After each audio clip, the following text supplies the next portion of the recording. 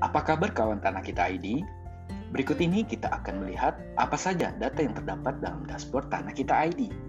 Untuk melihatnya, kamu buka browser, lalu ketik tanahkita.id hingga muncul tampilan dashboardnya seperti ini. Angka-angka berikut merupakan data konflik yang terdiri dari jumlah konflik, jumlah korban jiwa, serta jumlah luas konflik berdasarkan hektar. Terdapat peta yang menunjukkan jumlah konflik di tiap provinsi yang dibedakan berdasarkan warna. Semakin gelap menunjukkan semakin banyak konflik yang terjadi.